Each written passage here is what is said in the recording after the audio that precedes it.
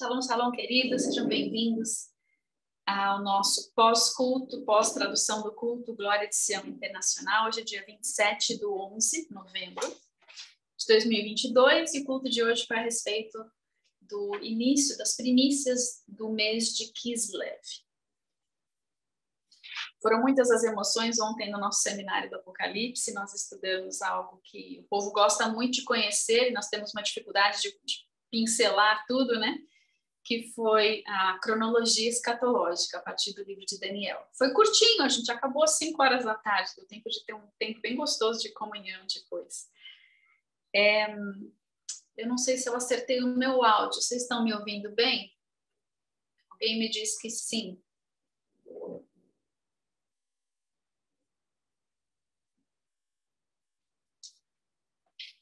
Sim, ok, ótimo. Um, o culto do Shabat foi ação de graças. E no culto uh, que o Robert na semana passada não falou, né? Ele não pregou, foi só adoração, palavras proféticas, atos proféticos. E ele trouxe a palavra de, do culto de ação de graças a respeito de como foi que os americanos começaram a celebrar o culto de ação de graças. E eu não vou trazer isso para vocês, porque não é da minha ossada e eu não anotei nada, mas a gente sabe que eles, os puritanos e os pilgrims, eles foram para os Estados Unidos, né, nas caravelas e tudo mais, e ali eles receberam algumas orientações até dos indígenas, para que eles pudessem aprender a navegar o terreno novo daquela nova terra. E eles decidiram celebrar em tempos de colheita um, um dia onde eles ah, agradeciam ao Senhor por estarem ali. E o Robert trouxe até uma parte da herança judaica, porque aqueles que vieram para os Estados Unidos, eles tinham ido da Inglaterra para Amsterdã e tiveram no meio de comunidades, comunidades judaicas ali. Então, eles aprenderam um pouquinho sobre os fundamentos, as raízes hebraicas da sua fé e trouxeram isso junto com eles aqui para os Estados Unidos. Então, eles tiveram um início bem abençoado. Né? Eu queria muito que a gente tivesse tido um pouquinho dessa, dessa bênção, tem um pouquinho de um ciúminho aí de, da bênção que eles tiveram na, na nos fundamentos, nas, na, no estabelecer da América do Norte. Né? Mas graças a Deus, o Senhor também nos deu uma identidade aqui no Brasil e Ele vem remindo e forjando essa identidade. Nós cantamos muito isso hoje, essa esse forjar, esse fogo consumidor vindo sobre nós, porque é um tempo que Deus está fazendo de forja. Nós temos um tempo de transição de quatro meses, isso foi falado já semana passada, se não me engano. São 120 dias em que nós estamos profetizando constantemente, agradecendo ao Senhor pela nossa identidade. São quatro meses, né? A gente está em novembro, dezembro, uh, janeiro, fevereiro. Eu acho que vai dar entre, sei lá, não sei se eles começaram a contar semana passada ou essa semana, mas nós vamos chegar próximo da Páscoa, nesse tempo de, de transição, de travessia, e é um tempo de forja. Nós sentimos e vemos isso aqui na nossa nação, mas nós precisamos saber que isso também está acontecendo conosco. É o tempo de nós sairmos do medo da proteção de Benjamim e entrarmos numa aliança, as alianças que Deus tem conosco, mas com o filho de Davi, que é Yeshua restabelecer e reorganizar essa nossa aliança com Ele, para que nós ah, possamos sair debaixo das oito camadas dessa cobertura que, de, que Deus mostrou que o inimigo tem sobre nós e entrarmos no perfeito amor. Será o tempo de uma nova jornada de recuperação e será um tempo, será um tempo de grandes surpresas. E Deus falou assim, agora no fim, pela boca do Chuck, ele falou assim: cuidado como você me julga quanto a, ao meu operar nessa jornada. Será uma jornada de muitos, muitas surpresas, será um novo caminho, mas haverá recuperação. Então, nós dizemos sim e amém a essa recuperação que o Senhor trará para nós nesse tempo, em que nós precisamos ouvir o Espírito Santo. Não tem como nós não ouvirmos o Espírito Santo. Nós precisamos, se a nossa vida, é como se a nossa vida dependesse completamente disso. Ouvir o Espírito Santo. Diga, eu ouvirei o Espírito Santo. Eu ouvirei o Espírito Santo em nome de Jesus. O Senhor falou também a respeito de tropas. Dentro da nossa identidade, nós somos uma tropa. E como esse é o mês de Benjamim, e Benjamim tinha uma artilharia, um, um alvo, uma. Como é que fala? É alvo que fala? Uma mira. Ele tinha uma mira perfeita.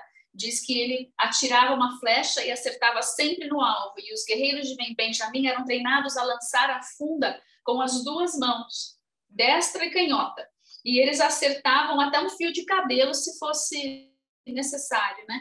De tão boa que era a mira deles. Nós dizemos assim, Senhor, que nós sejamos como os guerreiros de Benjamim, que nós tenhamos uma mira espetacular. Mostra-nos o alvo onde onde nós precisamos atirar. Adestra-nos para as batalhas que o Senhor tem adiante de nós. Adestra-nos com decretos certeiros.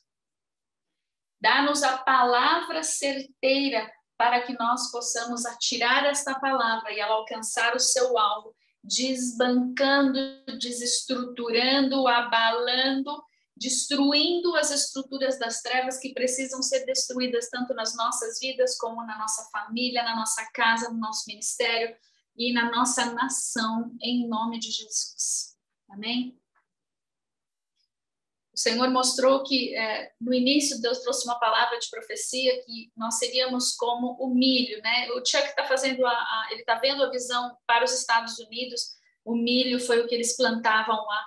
Aqui, sei lá o que, a gente planta, mas nós estamos sendo forjados e, e ao crescermos a, a nossa plantação, conforme ela vai crescendo, às vezes o inimigo começa a lançar camadas e o milho ele nasce com camadas que precisam ser arrancadas para que ele possa ser utilizado.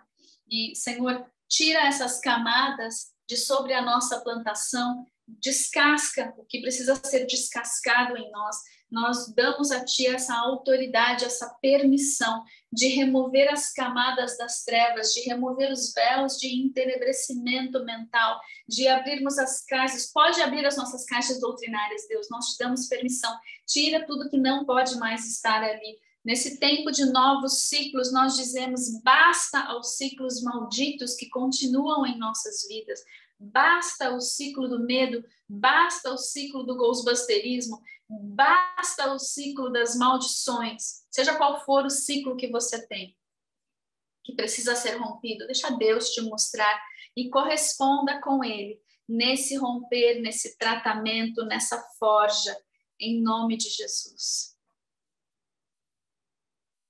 Também teve a visão do, do menino, né, que ia ser, fazer a cirurgia para o alinhamento da coluna. E quando a gente fala de, em inglês, quando a gente fala de backbone, quando, quando a gente fala, puxa, o cara não tem uma coluna vertebral, quer dizer que o cara não tem fibra, ele é um molenga, ele é um, né, um banana.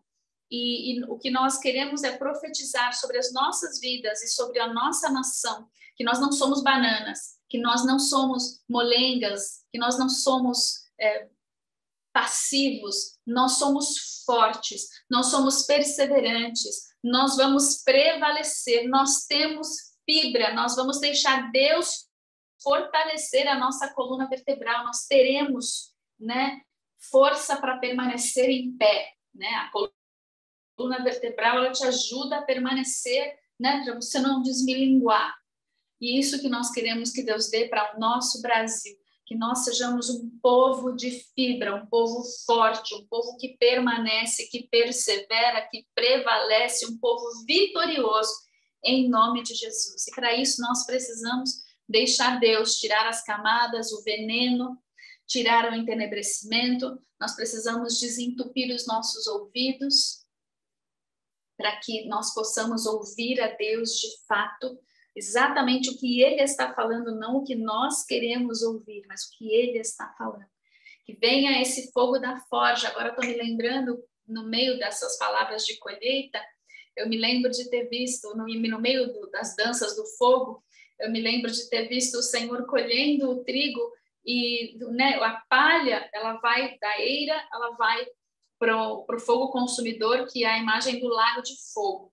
Mas o trigo não, o trigo vai para um outro fogo, é o fogo do forno, porque ele vai se tornar um pão. Eu creio que o Senhor tem falado conosco isso, que nós vamos ser um pão que vai alimentar as nações. há uma unção e um chamado, um propósito para o Brasil.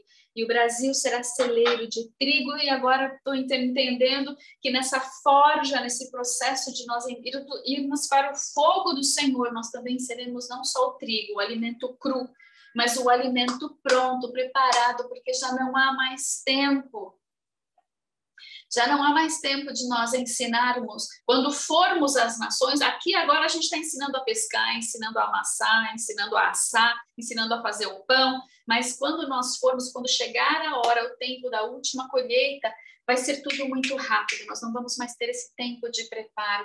Então, o pão já vai pronto. E dentro desse pão pronto, nós já profetizamos toda a estratégia para ensinar, fazer discípulos de forma rápida. Discípulos que não vão aí ter que fazer todo o processo de colheita que nós fizemos, mas com esse pão da vida que nós vamos ser e entregar para eles, eles também comerão e se tornarão essa essa máquina de multiplicação, essa, esse, esse povo, esse discípulo que come e já produz aquilo que comeu, de forma sã, de forma boa. Amém. Amém. Faz-nos esse pão, Senhor. Faz-nos esse pão. Arranca todo o, todo, todo fermento do velho, todo o veneno velho. E faz algo novo em nós, nesse novo tempo, um novo caminho e novo ciclo. Nós dizemos sim às alianças que o Senhor vai trazer para nós, as oportunidades que o Senhor vai nos dar. Nós dizemos basta ao inimigo que fica tentando voltar e nós dizemos sim, Deus, a romper com os velhos ciclos.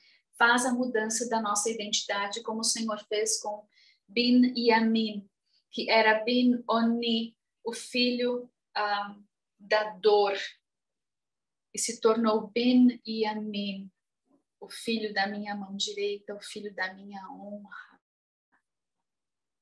Nós te pedimos perdão, Senhor, porque pelo medo nós fomos ah, pelo medo, nós super protegemos certas coisas e nós acabamos nos tornando passivos. Mas nós entramos nessa mudança de identidade, nós deixamos o Senhor mudar a nossa identidade. Nós venceremos, Deus. Dá-nos a força para romper como Jonatas rompeu. Nos aliançamos contigo, filho de Davi, Jesus, e como Saulo foi transformado em Paulo. Nós que um dia estivemos perseguindo os fiéis dessa, de, neste momento seremos, né, estamos chegando em momentos de sermos perseguidos, mas nós a, não perseguiremos, nós empurraremos, nós Seremos como um trampolim para os fiéis, para que eles possam avançar e correr com a tua palavra. Não seremos mais aqueles que vêm extinguir a voz do teu espírito, mas aqueles que dão voz ao teu espírito, que dão um, um megafone para a voz, a doce voz do teu espírito. Declaramos que nós não nos movimentamos pelo espírito do medo, mas que o Senhor nos deu uma mente sã e nós vamos no espírito do poder e do amor que o Senhor tem nos dado, o amor que move montanhas, o amor que lança fora todo medo. Esse venha a operar em nós e que os nossos ouvidos sejam santificados, que nós possamos experimentar desse mel tão doce dessa árvore que o Chuck recebeu aqui no fim, que eu não sei o nome da árvore, que só floresce, sei lá, três semanas do mês, que só tem em dois estados americanos, semanas do ano. Mas nós recebemos e que os nossos ouvidos sejam abertos e que os nossos lábios possam reproduzir esse doce som que o Senhor está trazendo, esse som que o Senhor está fazendo reverberar dos nossos ossos. Seja liberado o som da tua voz para o Brasil e para as nações da terra, em nome de Jesus.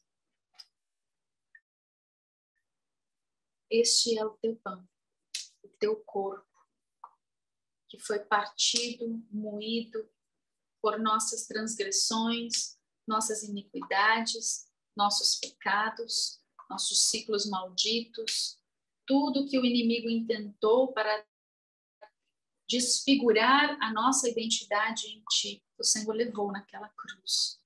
A tua carne foi rasgada para que nós pudéssemos receber uma nova identidade e adentrarmos na comunhão do Santo dos Santos por esse novo e vivo caminho. Este é o teu sangue que foi derramado por nós nessa terra que havia que era cheia de maldição e que agora é uma terra lavada, remida, purificada pelo sangue do Deus vivo e eterno. Nós comemos de ti e bebemos de ti.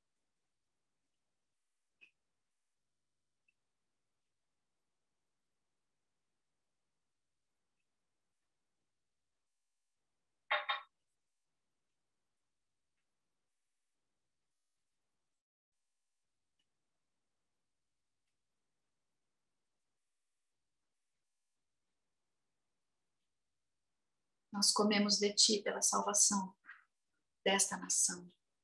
Nós bebemos de ti pela santificação, pela justificação, pela purificação deste país, do solo brasileiro, da flora e da fauna brasileira, que recebam da tua vida, Senhor, através de nós, como atos proféticos dos filhos do Brasil, que são filhos de Deus.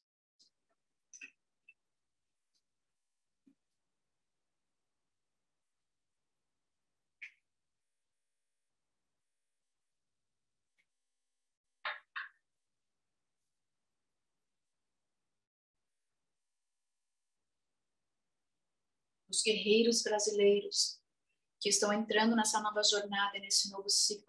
Nós comemos. Adestra nossas mãos para a batalha. Nós bebemos pelos novos guerreiros, não só o remanescente, mas os novos guerreiros que estão sendo forjados, serão levantados nesses últimos dias no Brasil.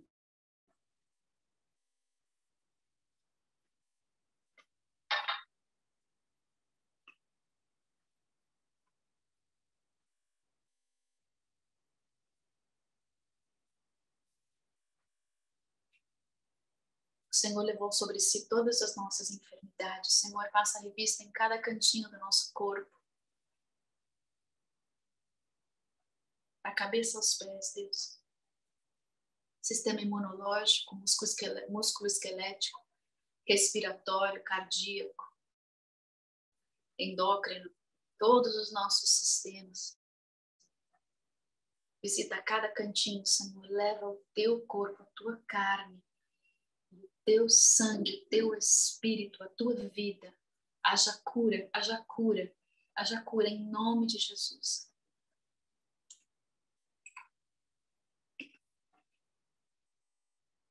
Haja cura no seu pâncreas,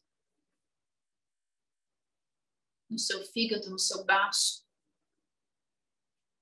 Haja cura no intestino, nos pulmões, nos rins,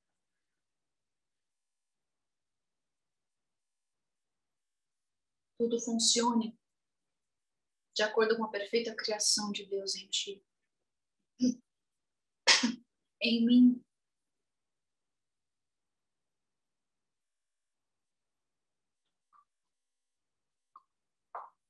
Coma pelo que o Senhor está mandando você comer. As doenças da alma, as doenças psicossomáticas, a depressão, o PTSD, o pânico, as doenças das emoções, dos sentimentos, do coração. Haja cura, haja cura em nome de Jesus.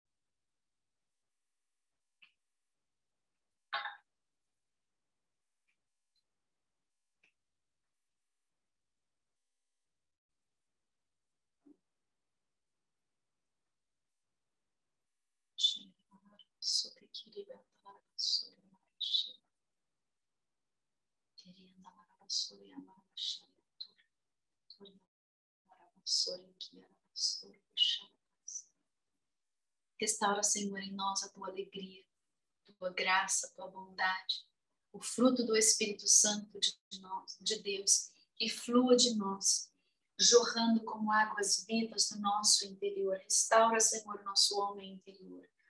Restaura o fruto do Espírito em nós, Deus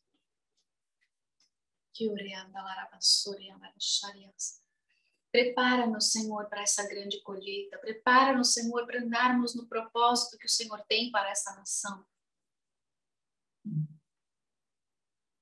Prepara-nos, Senhor, para as movimentações que o Senhor tem para realizar ainda até o fim de 2022. Prepara-nos, Senhor, para nos movermos com essas autoridades celestiais que o Senhor tem delegado, os anjos de mais altas patentes que o Senhor tem enviado para este grande avivamento.